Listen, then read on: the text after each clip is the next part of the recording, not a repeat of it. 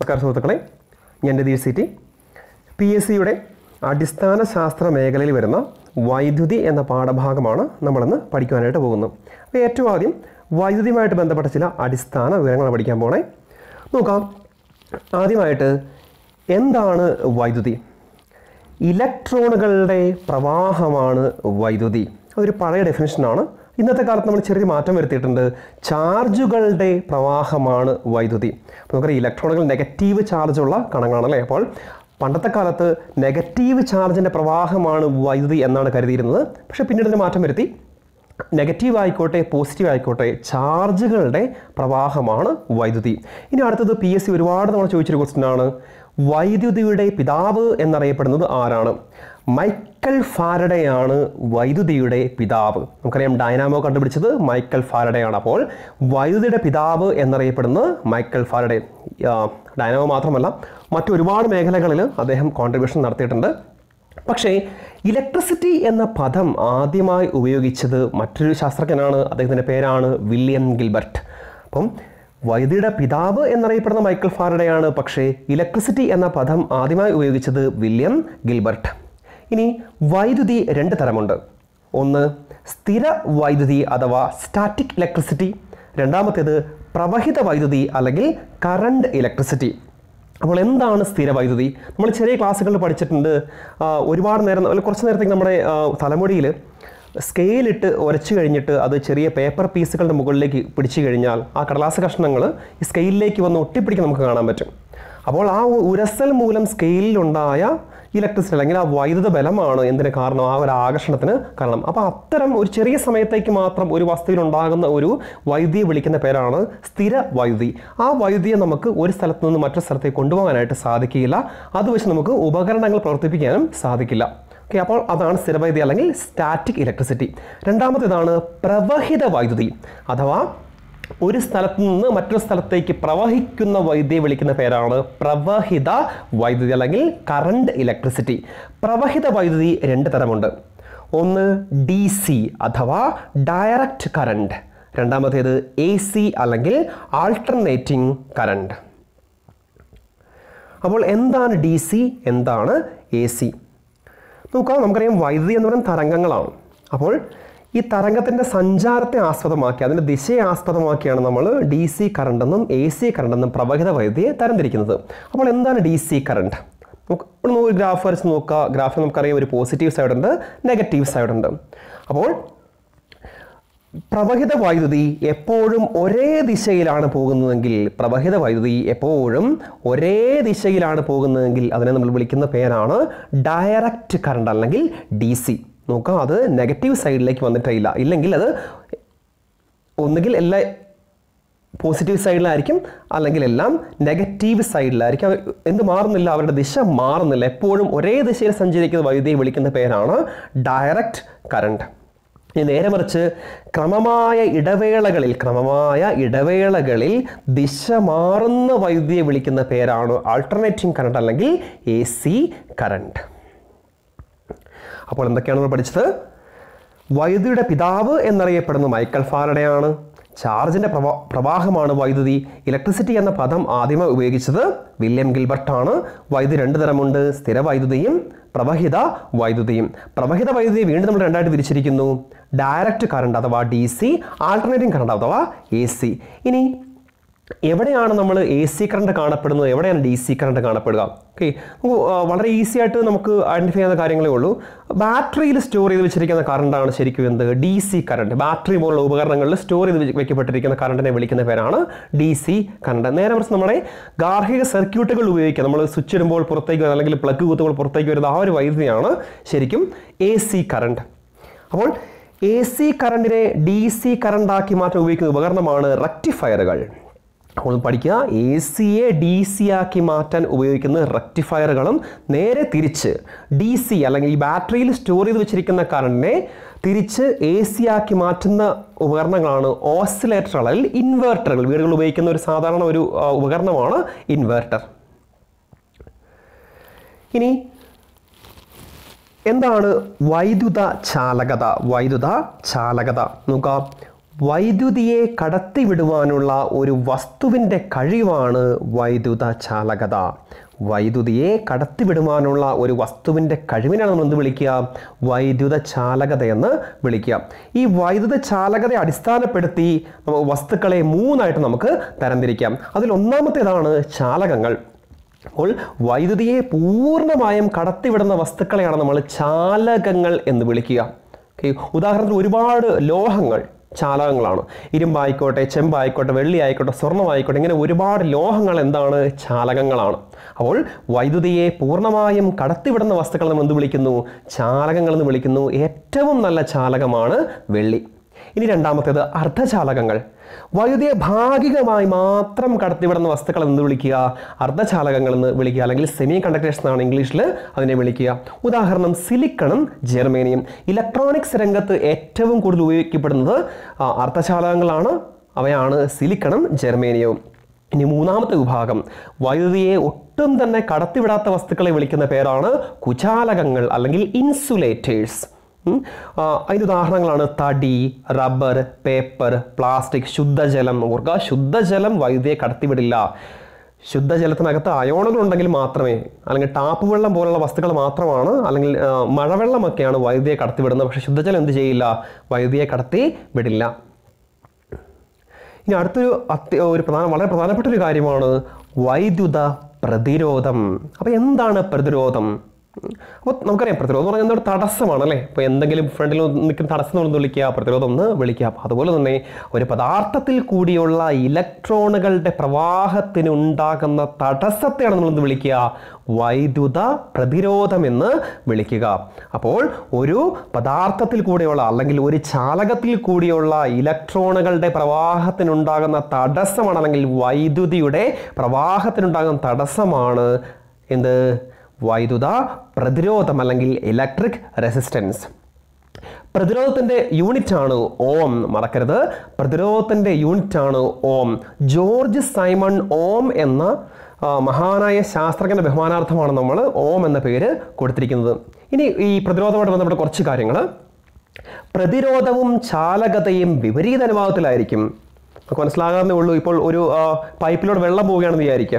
അപ്പോൾ അതിനകത്ത് ഏതെങ്കിലും രീതിയിൽ തടസ്സമുണ്ടെങ്കിൽ ആ വെള്ളത്തെ ഒഴുക്കിനെ അത് ബാധിക്കും. എപ്പോഴും നമ്മൾ ഈ വൈദ്യുത പ്രവാഹത്തെ ജലപ്രവാഹവുമായിട്ടൊന്ന് ഉപമിച്ച് നോക്കുക. പഠിക്കുവാൻ നമുക്ക് വളരെ ഈസി ആയിരിക്കും.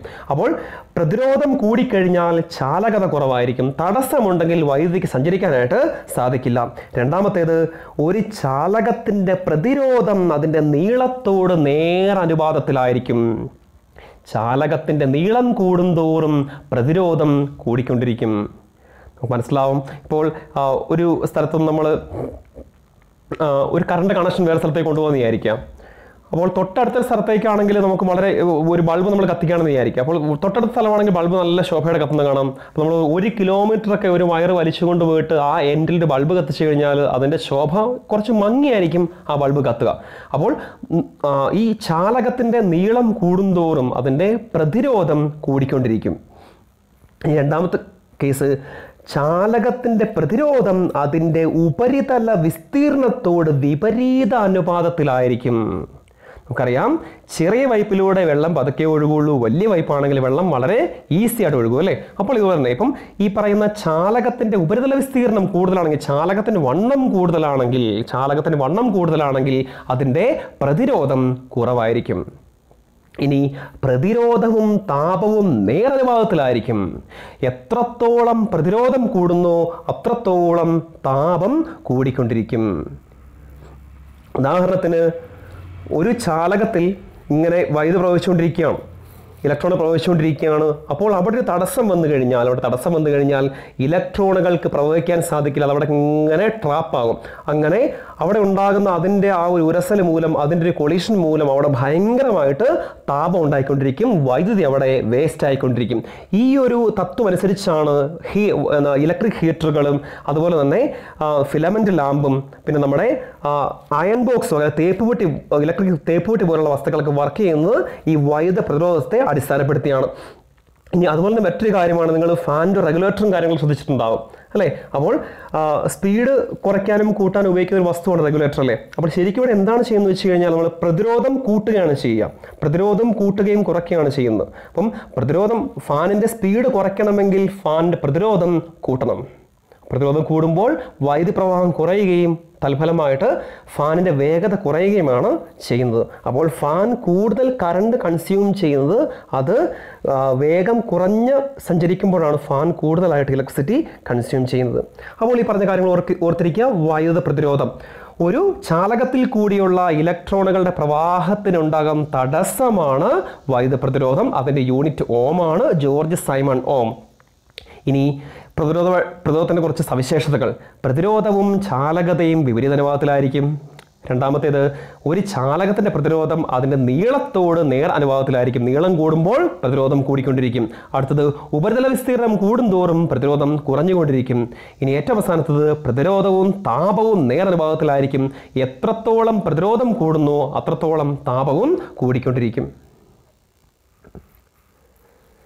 ഇനി വൈദ്യുതിയുമായിട്ട് ബന്ധപ്പെട്ട ചില ഉപകരണങ്ങളാണ് നമ്മൾ പഠിക്കാൻ പോകുന്നത്. ആദ്യത്തേത് നേരിയ വൈദ്യുത പ്രവാഹത്തിന്റെ സാന്നിധ്യവും ദിശയും അറിയാൻ ഉപയോഗിക്കുന്ന ഉപകരണമാണ് ഗാൽവനോമീറ്റർ. ഓർക്കുക വൈദ്യുതി ഉണ്ടായിട്ടുണ്ടോ? ഉണ്ടെങ്കിൽ അത് ഏത് ദിശയിലാണ്? എന്നറിയാൻ ഉപയോഗിക്കുന്ന ഉപകരണമാണ് ഗാൽവനോമീറ്റർ. നമുക്ക് ഉണ്ടായ വൈദ്യുതിയെ ഗാൽവനോമീറ്റർ കൊണ്ട് അളക്കുവാൻ സാധ്യമല്ല. ഇനി രണ്ടാമത്തേത് വൈദ്യുത പ്രവാഹ തീവ്രത അഥവാ ഇന്റൻസിറ്റി ഓഫ് ഇലക്ട്രിക് കറണ്ട് അത് അളക്കുന്ന ഉപകരണമാണ് അമ്മീറ്റർ അപ്പോൾ ഓർക്കുക വൈദ്യുതി ഉണ്ടോ ഇല്ലയോ എന്നറിയാൻ ഉപയോഗിക്കുന്ന ഉപകരണം ആണ് ഇനി ഉണ്ടെങ്കിൽ അത് എത്രമാത്രം തീവ്രതയാണ് പ്രവഹിക്കുന്നത് എന്ന് അറിയാൻ ഉപയോഗിക്കുന്ന ഉപകരണമാണ് അമ്മീറ്റർ ഓക്കെ അടുത്തത് വൈദ്യുത പ്രവാഹ തീവ്രതയുടെ യൂണിറ്റ് എന്ന് പറയുന്നത് ആംപിയർ ആണ്. അപ്പം ആന്ത്രേ മേരി ആംപിയർ എന്നൊരു സയന്റിസ്റ്റ് ഉണ്ടായിരുന്നു. അദ്ദേഹത്തിന്റെ ബഹുമാനാർത്ഥമാണ് ഈ ഒരു ആംപിയർ നമ്മൾ പേര് കൊടുത്തിരിക്കുന്നത്. അടുത്തത് പൊട്ടൻഷ്യൽ വ്യത്യാസം. പൊട്ടൻഷ്യൽ വ്യത്യാസം എന്താണ്? ഡെഫിനേഷനൊക്കെ നിങ്ങൾ കുറച്ച് കോംപ്ലക്സ് ആണ്. എന്നാലും ജസ്റ്റ് അറിഞ്ഞിരിക്കുക. ഇപ്പോൾ നമ്മൾ എന്താ പറയുക ജലം ഒരു ഒരു സ്ഥലത്ത് നിന്ന് മറ്റു സ്ഥലത്തേക്ക് കൊണ്ടുപോകാമെന്ന് വിചാരിക്കാം. അപ്പോൾ ആ ഒരു ആ രണ്ട് സ്ഥലങ്ങൾ തമ്മിൽ ഒരു പൊക്കത്തിൽ ഒരു വ്യത്യാസമുണ്ടെങ്കിൽ മാത്രമേ നമുക്ക് ജലം ഒരു സ്ഥലത്ത് നിന്ന് വേറെ സ്ഥലത്തേക്ക് നമുക്ക് ഒരു പൈപ്പ് ഉപയോഗിച്ച് കൊണ്ടുപോകാനായിട്ട് സാധിക്കുകയുള്ളൂ. അതുപോലെ തന്നെ രണ്ട് സ്ഥലത്ത് ചാർജിന്റെ ഡിഫറൻസ് ഉണ്ടെങ്കിൽ മാത്രമേ വൈദ്യുതി ഒരു സ്ഥലത്ത് നിന്ന് മറ്റൊരു സ്ഥലത്തേക്ക് പ്രവഹിക്കുകയുള്ളൂ. അപ്പോൾ ആ ഒരു ഡിഫറൻസ് ആണ് അതിന്റെ ഒരു അളവാണ് നമ്മൾ എന്ത് വിളിക്കുക? പൊട്ടൻഷ്യൽ ഡിഫറൻസ് എന്ന് വിളിക്കുക. അപ്പോൾ നമ്മൾ ആ പൊട്ടൻഷ്യൽ ഡിഫറൻസിനെ വിളിക്കുക. വേറെ പേര് വോൾട്ടേജ് എന്നാണ്. അതാണ് കുറച്ചുകൂടി കോമൺ ആയിട്ട് നമ്മൾ ഉപയോഗിക്കുന്ന ഒരു ടേമാണ് വോൾട്ടേജ് അപ്പോൾ വോൾട്ടേജ് അളക്കാൻ ഉപയോഗിക്കുന്ന ഉപകരണമാണ് വോൾട്ട് മീറ്റർ അപ്പം അലസാൻഡ്രോ വോൾട്ട എന്നൊരു ശാസ്ത്രജ്ഞന്റെ ബഹുമാനാർത്ഥം പൊട്ടൻഷ്യൽ ഡിഫറൻസ് അല്ലെങ്കിൽ വോൾട്ടേജിനെ നമ്മൾ വോൾട്ടേജ് അളക്കാൻ നമ്മൾ ഉപയോഗിക്കുന്ന യൂണിറ്റ് ആണ് വോൾട്ട്. ഇനി വോൾട്ടേജ് നില നിയന്ത്രിക്കാൻ ഉപയോഗിക്കുന്ന ഉപകരണങ്ങളാണ് ട്രാൻസ്ഫോർമറുകൾ. അപ്പോൾ വോൾട്ടേജ് കൂട്ടുവാനും വോൾട്ടേജ് കുറയ്ക്കുവാനും ഉപയോഗിക്കുന്ന ഉപകരണമാണ് ട്രാൻസ്ഫോമർ. വോൾട്ടേജ് കൂട്ടുന്നത് നമ്മൾ സ്റ്റെപ്പ് അപ്പ് ട്രാൻസ്ഫോമർ എന്നും വോൾട്ടേജ് കുറയ്ക്കുന്നത് നമ്മൾ സ്റ്റെപ്പ് ഡൗൺ ട്രാൻസ്ഫോമർ എന്നുമാണ് വിളിക്കുന്നത്. കൂടെ കാണാൻ പറ്റും ട്രാൻസ്ഫോമറുകൾ നിങ്ങൾക്ക് കാണാൻ പറ്റും. നോക്കി ഇതാണ് നമ്മൾ കോമൺ ആയിട്ട് എ സി കറണ്ടിന് വേണ്ടി ഉപയോഗിക്കുന്ന ട്രാൻസ്ഫോമർ നമ്മൾ ജംഗ്ഷനിലൊക്കെ പോസ്റ്റിലൊക്കെ വെച്ചേക്കുന്നത് കാണാം നമുക്ക്.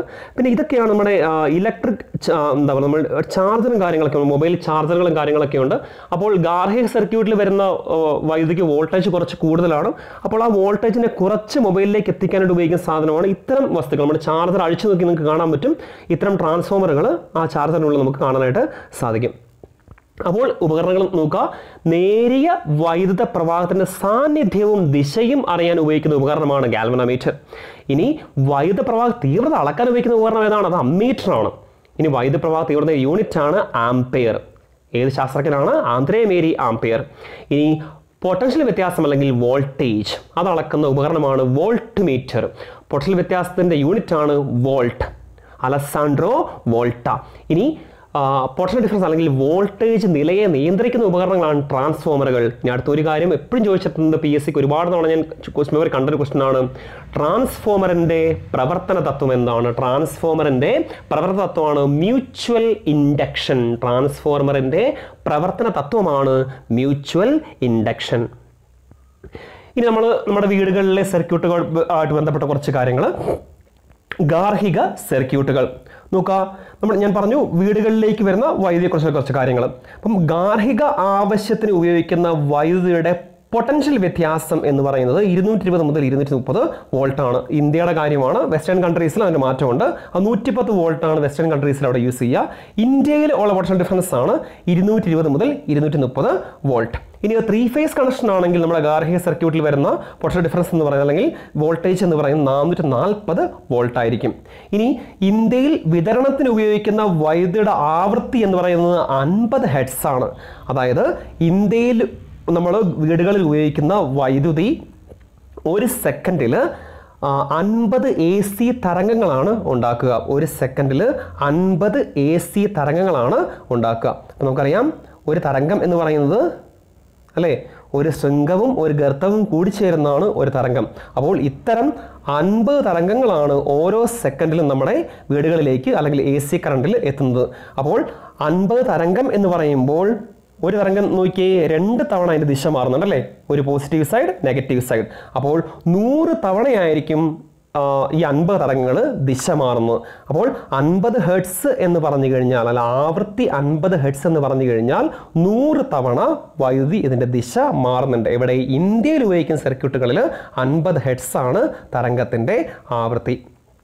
ഇനി നമ്മുടെ വീടുകളിൽ ഉപയോഗിക്കുന്ന വയറുകൾ. അപ്പോൾ ഓർക്കുക ഏതെങ്കിലും ഒരു ജനറേറ്ററിൽ ഏതെങ്കിലും ഒരു പവർ ഹൗസിൽ ജനറേറ്റ് ചെയ്യുന്ന ഇലക്ട്രിസിറ്റിയാണ് നമ്മുടെ വീടുകളിലേക്ക് എത്തിച്ചേരുന്നത്. അപ്പോൾ എപ്പോഴും ആലോചിക്കേണ്ട ഒരു കാര്യമുണ്ട്. ഇലക്ട്രിസിറ്റി എന്ന് പറയുന്നത് ഒരു സർക്യൂട്ടാണ് എപ്പോഴും ഒരു എന്താ ഒരു ചാക്രികമായ രീതിയിലായിരിക്കും ഇലക്ട്രിസിറ്റി എപ്പോഴും പ്രവഹിക്കുക. അപ്പോൾ നമ്മുടെ വീടുകളിൽ ഇലക്ട്രിക് ഉപകരണങ്ങളിൽ മൂന്ന് തരം വയറുകളാണ് ഉപയോഗിക്കുക. ആദ്യതാണ് ഫേസ് വയർ അല്ലെങ്കിൽ ലൈവ് വയർ ഫേസ് വയർ അഥവാ ലൈവ് വയർ അപ്പോൾ ഫേസ് വയർ എന്ന് പറയുന്നത് ഈ പറയുന്ന പവർ ഹൗസുകളിൽ നിന്നല്ലെങ്കിൽ ജനറേറ്ററുകളിൽ നിന്നും നമ്മുടെ ഉപകരണങ്ങളിലേക്ക് വൈദ്യുതി എത്തിക്കുന്ന ലൈനിനെ അല്ലെങ്കിൽ എത്തിക്കുന്ന വയറിനെ വിളിക്കുന്ന പേരാണ് ഫേസ് വയർ ഉദാഹരണത്തിന് ഇതൊരു ഫാനാണ് ഇതൊരു മിക്സിയാണ് ഇത് ടി വി ആണെന്ന് വിചാരിക്കാം. അപ്പോൾ ഈ ഉപകരണങ്ങളിലേക്ക് വൈദ്യുതി കൊടുക്കുന്ന വയറിനെ വിളിക്കുന്ന പേരാണ് ഫേസ് വയർ അല്ലെങ്കിൽ ലൈവ് വയർ അത് സാധാരണഗതിയിൽ ചുവപ്പ് അല്ലെങ്കിൽ ചാര നിറത്തിലായിരിക്കും നമ്മൾ ഫേസ് വയർ നമ്മൾ കണക്ഷന് വേണ്ടി ഉപയോഗിക്കുക. ഇനി ഈ ഉപകരണങ്ങൾക്ക് വൈദ്യുതി കൊടുത്ത ശേഷം ഈ വൈദ്യുതിയെ തിരിച്ചു കൊണ്ടുപോകുന്ന വയറാണ് ന്യൂട്രൽ വയർ. അപ്പോൾ ഇലക്ട്രിസിറ്റിയെ കൊണ്ടുവരുന്ന വയർ ഏതാണ്? അത് ഫേസ് വയറാണ്. അത് ഉപകരണങ്ങളിലേക്ക് കൊടുത്തതിന് ശേഷം അതിൽ നിന്നും തിരിച്ചു കൊണ്ടുപോകുന്ന വയറാണ് എന്ത്? Neutral wire. ഈ ഫേസ് വയറും ന്യൂട്രൽ വയറും തമ്മിലുള്ള പൊട്ടൽ വ്യത്യാസമാണ് ഇരുന്നൂറ്റി മുപ്പത് വോൾട്ട് അല്ലെങ്കിൽ ഇരുന്നൂറ്റി ഇരുപത് വോൾട്ട്. അപ്പോൾ സാധാരണഗതിയിൽ നീല അല്ലെങ്കിൽ കറുത്ത നിറത്തിലായിരിക്കും നമ്മൾ ന്യൂട്രൽ വയർ ന്യൂട്രൽ വയർ ആയിട്ട് നമ്മൾ ഉപയോഗിക്കും. നീല അല്ലെങ്കിൽ കറുത്ത ഇൻസുലേഷനുള്ള വയറായിരിക്കും നമ്മൾ ഉപയോഗിക്കുക. ഇനി മൂന്നാമത്തെ വയറാണ് അത് നമ്മുടെ പോസ്റ്റുമായിട്ടൊന്നും ബന്ധമില്ല.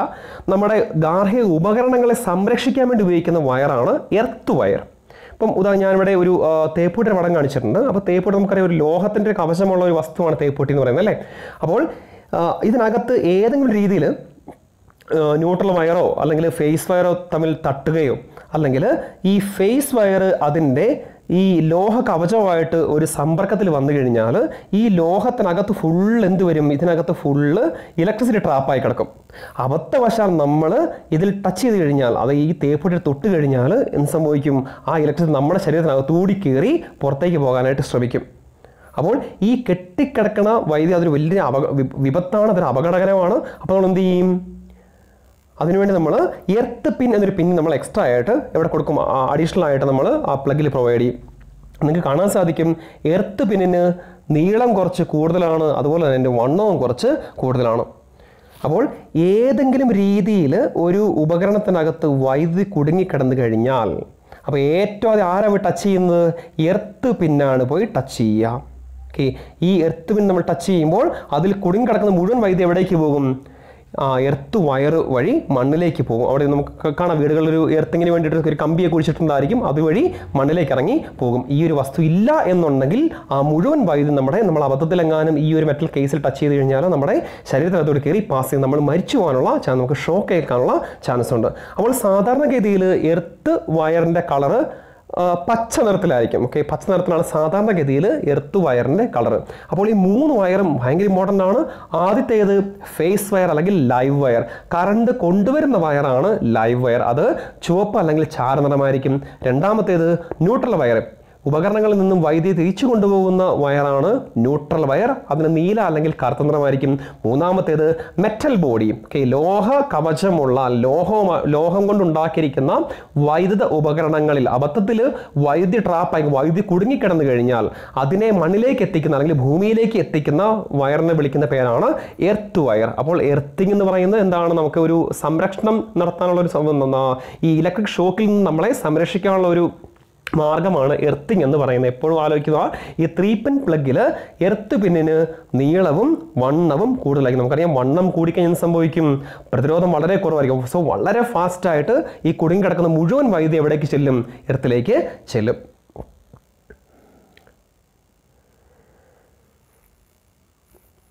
ഇനി അടുത്തതാണ് നിരപായ ഫ്യൂസ് അല്ലെങ്കിൽ ഫ്യൂസ് എന്ന് പറയുന്ന വസ്തുക്കൾ. അപ്പം ഏതെങ്കിലും രീതിയിൽ കൂടുതൽ വൈദ്യുത പ്രവാഹം ഇപ്പം നമ്മുടെ വീടുകളിലെ സർക്യൂട്ടുകളിലേക്ക് വളരെ കൂടിയ അളവിൽ വൈദ്യുതി വരികയാണെങ്കിൽ വൈദ്യുതി വരികയാണെങ്കിൽ അത് കാരണം നമ്മൾ നമ്മുടെ വീടുകളിലുള്ള ഉപകരണങ്ങളൊക്കെ ഒരു നിശ്ചിത അളവ് വൈദ്യുതിയിൽ മാത്രം പ്രവർത്തിക്കാൻ വേണ്ടി ഉണ്ടാക്കിയിരിക്കുന്ന വസ്തുക്കളാണ്. അപ്പോൾ കൂടുതൽ അളവിൽ വൈദ്യുതി വന്നു കഴിഞ്ഞാൽ ആ ഉപകരണങ്ങളൊക്കെ നശിച്ചു പോകാൻ ചാൻസ് ഉണ്ട് അതെല്ലാം പ്രവർത്തനരഹിതമാകാൻ ചാൻസ് ഉണ്ട് അപ്പോൾ ഈ ഉപകരണങ്ങളെ സംരക്ഷിക്കാനായിട്ട് എന്ത് ചെയ്യും? ഈ വൈദ്യുതി കയറി വരുന്ന അതേ സ്ഥലത്ത് നമ്മൾ ഒരു ഫ്യൂസ് എന്നൊരു സംഭവം വെച്ചിട്ടുണ്ടായിരിക്കും. ഓക്കെ നിങ്ങൾക്ക് ഈ ഫ്യൂസ് കാണാൻ നിങ്ങൾ വീടുകളിലൊക്കെ സാധാരണ ഉപയോഗിക്കുന്ന വസ്തുവാണ് ഈ ഫ്യൂസ് എന്ന് പറയുന്നത്. അപ്പോൾ ഇവിടെ നിങ്ങൾക്ക് ഒരു മെറ്റൽ വയർ കാണാൻ പറ്റും. ഓക്കെ ഈ ഫ്യൂസിന് ഇവിടെ ഒരു വയർ കാണാൻ പറ്റും. അപ്പോൾ കൂടുതൽ എമൗണ്ടിൽ വൈദ്യുത പ്രവാഹം ഉണ്ടായിക്കഴിഞ്ഞാൽ ഈ വയർ അങ്ങ് ഉരുകും. അപ്പം ഒന്നും സംഭവിക്കില്ല? വീടിനകത്തേക്ക് വൈദ്യുതി കയറിപ്പോവില്ല ഉപകരണങ്ങളെ നമുക്ക് സംരക്ഷിക്കാനായിട്ട് സാധിക്കും. അപ്പോൾ ഒരു സേഫ്റ്റി മെഷറാണ് നമ്മൾ നമ്മുടെ വൈദ്യുത ഉപകരണങ്ങളെ അമിതമായ വൈദ്യുത പ്രവാഹത്തിൽ നിന്ന് സംരക്ഷിക്കാനുള്ള മാർഗമാണ് ഈ പറയുന്ന ഫ്യൂസുകൾ ഓക്കെ അപ്പോൾ ഈ പറയുന്ന രണ്ട് രീതിയിലുള്ള ഫ്യൂസ് ഇത് നമ്മൾ മിക്കവാറും ഡി സി ഉപകരണങ്ങളിലാണ് ഇത്തരം ഫ്യൂസുകൾ കാണപ്പെടുക. ഇത് ഗാർഹിക സർക്യൂട്ടിലാണ് ഇത്തരം ഫ്യൂസുകൾ നമുക്ക് കാണപ്പെടുക. അപ്പോൾ ഇനി ഫ്യൂസ് വയർ ഉണ്ടാക്കാൻ ഉപയോഗിക്കുന്ന ലോഹ സങ്കരം എന്ന് ചോദിച്ചു കഴിഞ്ഞാൽ അത് ഒന്നുകിൽ ടിന്നും ലെഡും ചേർന്നാണ്. നമുക്കറിയാം ടിൻ എന്ന് പറഞ്ഞാൽ വെളുത്തീയമാണ് ലെഡ് എന്ന് പറഞ്ഞാൽ കറുത്തീയമാണ്. അപ്പോൾ വെളുത്തീയവും കറുത്തീയവും ചേർന്ന ഒരു ലോഹസങ്കരമാകാം അല്ലെങ്കിൽ ടിന്നും കോപ്പറും വെളുത്തീയവും കോപ്പറും ചേർന്നിട്ടുള്ള ലോഹസങ്കരമാകാം ഇതാണ് നമ്മൾ സാധാരണഗതിയിൽ ഫ്യൂസ് വയർ ഉണ്ടാക്കാൻ വേണ്ടി ഉപയോഗിക്കുന്നത് ഒരിക്കലും ഈ ഫ്യൂസ് കത്തിപ്പോവുക എന്ന് പറഞ്ഞുകൊണ്ട് വളരെ ബലം കൂടിയ അല്ലെങ്കിൽ വണ്ണം കൂടിയ ലൈൻ കമ്പി കമ്പിയൊന്നും കൊണ്ട് ഫ്യൂസ് വയർ കെട്ടരുത്. അങ്ങനെ കെട്ടിക്കഴിഞ്ഞാൽ ഒരു അമിതമായ വൈദ്യുത പ്രവാഹം ഉണ്ടായാലും ഫ്യൂസ് വയർ ഉരുകാതെ മുഴുവൻ വൈദ്യുതി നമ്മുടെ വീടുകൾ അകത്തേക്ക് കയറി വരികയും നമ്മുടെ ഉപകരണങ്ങൾക്ക് നശിച്ചു പോകാനുള്ള ചാൻസ് ഉണ്ട്.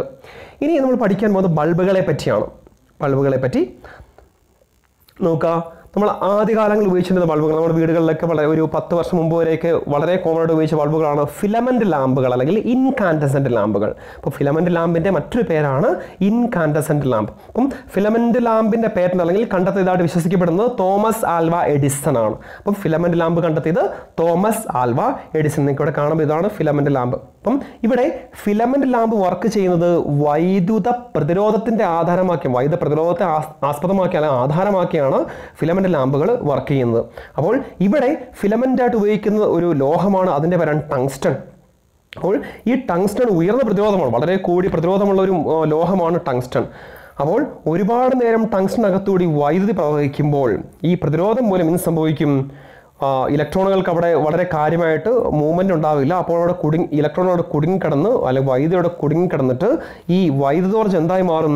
താപോർജമായിട്ട് മാറിക്കൊണ്ടിരിക്കും. ഈ താപോർജം മൂലം ഈ ലോഹം ഈ ടങ്സ്റ്റൺ എന്ന് പറയുന്ന ലോഹം ചുട്ടു പഴുത്ത് പ്രകാശിക്കാനായിട്ട് തുടങ്ങും. അപ്പോൾ വൈദ്യുത പ്രതിരോധം കൂടി ടങ്സ്റ്റൺ എന്ന് പറയുന്ന ലോഹം ചുട്ടു പഴുക്കും ആ ഒരു പ്രകാശമാണ് നമുക്ക് ഫിലമെന്റ് ലാമ്പിൽ കിട്ടുക. അപ്പോൾ ഇവിടെ ഒരുപാട് ഇലക്ട്രിസിറ്റി അല്ലെങ്കിൽ വൈദ്യുതി വേസ്റ്റ് ആവുന്നത് കൊണ്ട് എന്താ പറയുക ഒരു വളരെ ചെറിയ പ്രകാശം പരത്തുന്ന ഒരു ഇൻകാൻസെന്റ് ലാമ്പാണെങ്കിൽ പോലും ഒരുപാട് വൈദ്യുതി ഉപഭോഗം ചെയ്യുന്നുണ്ട്. അതുകൊണ്ടാണ് ഇത്തരം വസ്തുക്കളൊക്കെ നമ്മൾ നിരോധിച്ചാലും നമ്മുടെ ആ, എന്താ പറയുക ഉജാല സ്കീമൊക്കെ വന്നതിന് ശേഷം നമ്മൾ എൽ ഇ ഡി ബൾബുകളൊക്കെ ഉപയോഗിക്കുന്നത് ഇതുകൊണ്ടാണ്.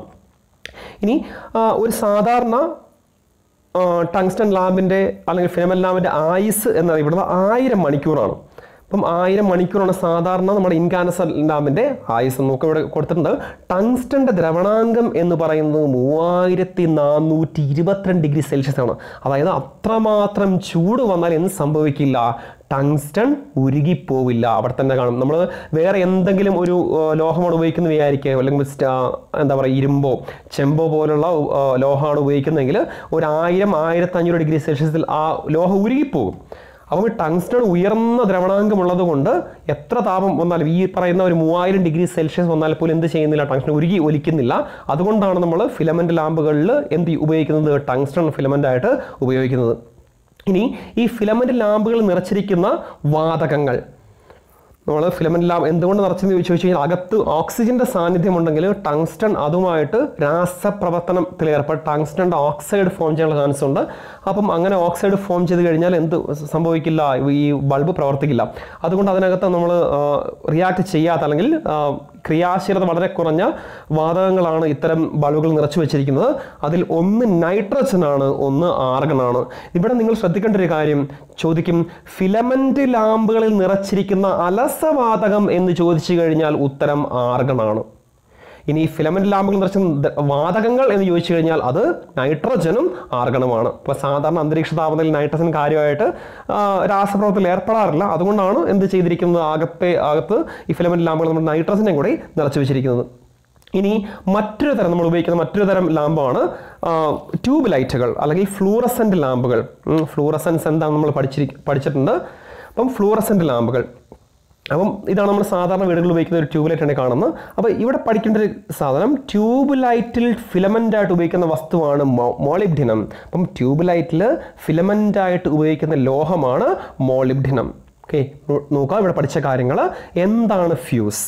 അപ്പോൾ ഫ്യൂസ് എന്ന് പറയുന്ന ഒരു ഒരു സേഫ്റ്റി ഡിവൈസ് ആണ് അപ്പം ഒരു സംരക്ഷണ ഉപകരണമാണ് നമ്മുടെ ഫ്യൂസ് എന്ന് പറയുന്നത്. അപ്പോൾ കൂടുതൽ അളവിൽ വൈദ്യുതി പ്രവഹിച്ചു കഴിഞ്ഞാൽ ഫ്യൂസ് വയർ ഉരുകി എന്ത് സംഭവിക്കുന്നു. ആ സർക്യൂട്ടിലേക്കുള്ള വൈദ്യുതി പ്രവാഹം നിലച്ച് നമ്മുടെ ഉപകരണങ്ങളെ അത് സംരക്ഷിക്കുകയാണ് ചെയ്യുക.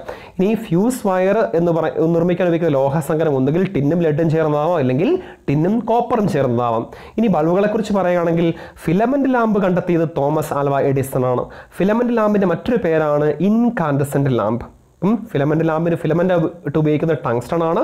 ടങ്സ്റ്റൺ വളരെ ഉയർന്ന ദ്രവണാങ്കമാണ് അത് ഏകദേശം മൂവായിരത്തി നാനൂറ്റി ഇരുപത്തിരണ്ട് ഡിഗ്രി സെൽഷ്യസ് ആണ്. അപ്പോൾ സാധാരണഗതിയിൽ ആയിരം മണിക്കൂറാണ് ഒരു ഇൻകാൻസെന്റ് ലാമ്പിന്റെ ആയുസ് എന്ന് പറയുന്നത്. സോ വളരെ ചെറിയ ആയുസ്സാണ് അവർക്കുള്ളത്. ഇനി അതിനകത്ത് പിന്നെ വൈദ്യുത ഉപഭോഗം വളരെ കൂടുതലായിരിക്കും. ഇനി വൈദ് ഇൻകാൻസെന്റ് ലാമ്പുകൾ നിറച്ചിരിക്കുന്ന വാതകങ്ങൾ ഒന്നുകിൽ നൈട്രജൻ ഇല്ലെങ്കിൽ ആർഗൺ ആയിരിക്കും. ഇനി ട്യൂബ്ലൈറ്റിനെ കുറിച്ച് പറയുകയാണെങ്കിൽ നമ്മൾ ട്യൂബ് ട്യൂബ്ലൈറ്റ് മറ്റൊരു പേര് ഫ്ലൂറസൻ ലാമ്പ് എന്നാണ്. നമ്മൾ കുറച്ച് കാര്യങ്ങൾ പഠിച്ചിട്ടുണ്ട്. ഫ്ലൂറസെന്റ് ലാമ്പിൽ നിറച്ചിരിക്കുന്ന ബാഷ്പം മെർക്കുറി ബാഷ്പമാണ്. ഇനി അതിനെ ഉപയോഗിച്ചിരിക്കുന്ന ഫിലമെന്റ് മോളിബ്ഡിനമാണ് മോളിബ്ഡിനമാണ് ഫ്ലൂറസെന്റ് ലാമ്പുകൾ ഉപയോഗിച്ചിരിക്കുന്ന ഫിലമെന്റ് എന്ന് പറയുന്നത്. ഇനി അടുത്ത് പഠിക്കാനുള്ള ലാമ്പുകളാണ് വേപ്പർ ലാമ്പുകൾ. നമ്മൾ ഒരുപാട് കേട്ടിട്ടുള്ള നമ്മൾ സ്ട്രീറ്റ് ലൈറ്റുകളായിട്ടും ഒക്കെ ഉപയോഗിക്കുന്ന ബൾബുകളാണ് വേപ്പർ ലാമ്പുകൾ. അപ്പോൾ അതിനകത്ത് ഇവിടെ പി എസ് സിക്ക് വളരെ ഇഷ്ടപ്പെട്ട ഒരു കാര്യമാണ് ഓരോ വേപ്പർ ലാമ്പിൽ നിറച്ചിരിക്കുന്ന വാതകങ്ങൾ അല്ലെങ്കിൽ വേപ്പർ ഏതാണ് അതിന് കറസ്പോണ്ടിങ് ആയിട്ട് ഉണ്ടാകുന്ന പ്രകാശത്തിന് ഏത് നിറമായിരിക്കും എന്നുള്ളത്. ഇപ്പോൾ ജസ്റ്റ് പഠിച്ചിരിക്കുക സോഡിയം വേപ്പർ ലാമ്പിന് നി- ആ, പുറപ്പെടുവിക്കുന്ന ഉത്സർജിക്കപ്പെടുന്ന പ്രകാശം മഞ്ഞ നിറത്തിലുള്ളതായിരിക്കും. അപ്പോൾ സോഡിയം വേപ്പർ ലാമ്പ് മഞ്ഞ. ഇനി ക്ലോറിനാണെങ്കിൽ പച്ച. ഓക്കെ സോഡിയം മഞ്ഞ ക്ലോറിൻ വേപ്പർ ആണെങ്കിൽ പച്ച. ഹൈഡ്രോജൻ ആണെങ്കിൽ നീല. നിയോൺ ആണെങ്കിൽ ഓറഞ്ച് നൈട്രജൻ ചുവപ്പ് മെർക്കുറി വെള്ള. മെർക്കുറി വേപ്പർ ലാമ്പുകളാണ് ഇന്നത്തെ കാലത്ത് വളരെ കൂടുതൽ നമ്മൾ സ്ട്രീറ്റിൽ ഇന്നത്തെ കാലത്ത് ഉപയോഗിക്കുന്ന ഇന്ന് L E D L E D പോലുള്ള സാധനങ്ങൾ ഉപയോഗിക്കുക. മുൻകാലങ്ങളിൽ ഏറ്റവും കൂടുതൽ സ്ട്രീറ്റ് ലൈറ്റിന് വേണ്ടി ഉപയോഗിച്ചിരിക്കുന്നത് മെർക്കുറി വേപ്പർ ലാമ്പുകളാണ് അപ്പോൾ നമുക്ക് നമുക്ക് സോഡിയം സോഡിയം മഞ്ഞ ക്ലോറിൻ നമുക്കറിയാം ക്ലോറോഫിൽ ക്ലോറോഫോം അല്ലേ? പച്ച നിറമാണ്. ഹൈഡ്രജൻ വെള്ളം എന്ന് പറഞ്ഞാൽ നീല വെള്ളത്തിന് നീല നിറമാണ് അല്ലേ കടലിലെ വെള്ളം നീല നിറമാണ്. അപ്പോൾ ഹൈഡ്രജൻ നീല നിയോൺ ഓറഞ്ച് ആണ് നൈട്രജൻ ചുവപ്പ് മെർക്കുറി വെള്ളം. ഇനി ഒരു ചെറിയൊരു കാര്യം കൂടെ. ഏറ്റവും ആദ്യമായിട്ട് മനുഷ്യൻ ഉപയോഗിച്ച ലാമ്പുകളാണ് ആർക്ക് ലാമ്പുകൾ? ഒന്നുമില്ല ഒരു നമുക്കിവിടെ കാണാൻ പറ്റും. കാർബണിന്റെ രണ്ട് ദണ്ടുകൾ ഇവിടെ കാണാൻ. ഇപ്പം കാർബണിന്റെ ദണ്ടുകൾ നിർബന്ധമില്ല ഏതെങ്കിലും രണ്ട് ലോഹങ്ങളുടെ രണ്ട് ദണ്ടുകൾ കാണാൻ സാധിക്കും ഇപ്പം ഇവ തമ്മിൽ വൈദ്യുതി കടത്തി കടത്തിവിട്ട് കഴിയുമ്പോൾ വൈദ്യുതിയുടെ ആർക്ക് ഒരു എന്താ ഒരു സ്പാർക്ക് പോലെ ഒരു ദണ്ടിൽ നിന്ന് മറ്റൊരു ദണ്ടിലേക്ക് പ്രവഹിക്കുന്നത് കാണാൻ പറ്റും അപ്പോൾ ആ ഒരു സ്പാർക്ലിംഗ് മൂലം ആ ഒരു എന്താ പറയുക ഒരു ആർക്ക് അവിടെ തിളക്കമുണ്ടാവും. അപ്പോൾ ആ ഒരു തിളക്കമാണ് പ്രകാശമായിട്ട് പുറത്തേക്ക് വരുന്നത്. അപ്പോൾ ഇതാണ് ഏറ്റവും ആദ്യം നമ്മൾ കണ്ടുപിടിച്ച വൈദ്യുതി ബൾബ് എന്ന് പറയുന്ന ആർക്ക് ലാമ്പുകളാണ് അത് കണ്ടെത്തിയത്? ഹംഫ്രി ഡേവിയാണ്. അപ്പം ഇതാണ് വൈദ്യുമായിട്ട് ബന്ധപ്പെട്ട കുറച്ച് കാര്യങ്ങൾ. നിങ്ങൾക്ക് എന്തെങ്കിലും ഡൗട്ടുകളോ മറ്റോ കാര്യങ്ങളോ ഉണ്ടെങ്കിൽ അത് കമന്റ് ബോക്സിൽ ചേർക്കുക. എത്രയും പെട്ടെന്ന് ഫലപ്രദമായ രീതിയിൽ ഡൗട്ട് ഞാൻ ആൻസർ ചെയ്യാനായിട്ട് ശ്രമിക്കുന്നതായിരിക്കും. നന്ദി.